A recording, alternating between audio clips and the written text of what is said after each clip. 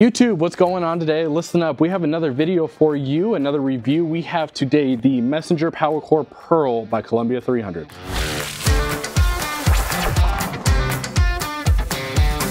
All right, nitty gritty, RG2515 with a dip of 040.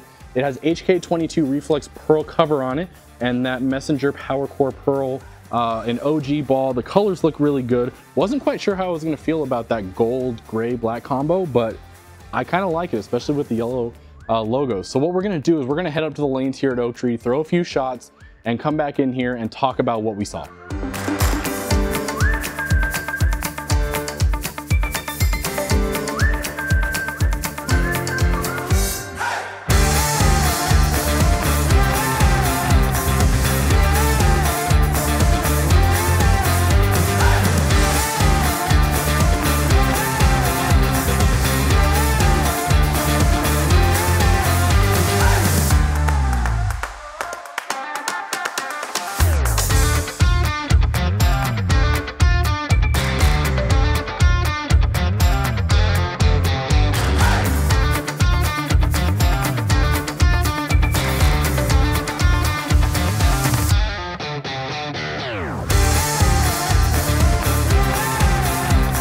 All right, back from the lanes here at Oaktree. Uh, wow, uh, this ball really looked very good from where I was. I moved around and it gave me the kind of shapes I kind of expected to see, but it kind of surprised me and impressed me even more too.